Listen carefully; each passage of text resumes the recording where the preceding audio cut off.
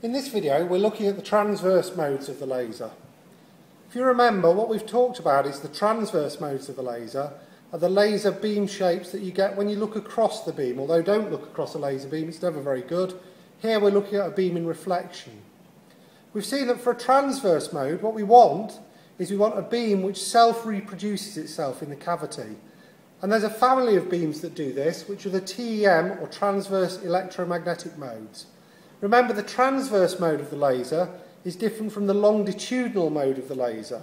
The longitudinal modes of the laser arrive from the standing wave laser cavity, and from the requirements for a standing wave, we get a range of closely spaced, allowed wavelengths or frequencies. Those are the longitudinal modes. Here we're talking about the transverse modes we've seen a family of transverse beam shapes. So for instance, the simplest, and the one we probably want our laser to operate in, is the TEM00 mode. Now what I'm going to do is I'm going to slightly adjust the alignment of our laser cavity, which is currently running in a TEM00 mode, and hopefully we should be able to see some other transverse modes appear.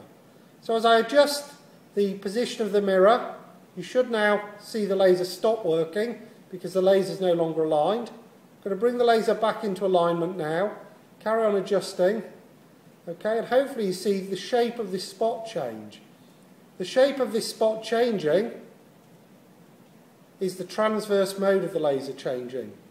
And now if I start really altering the alignment of the laser, we should be able to see a whole family of transverse modes appear. Okay?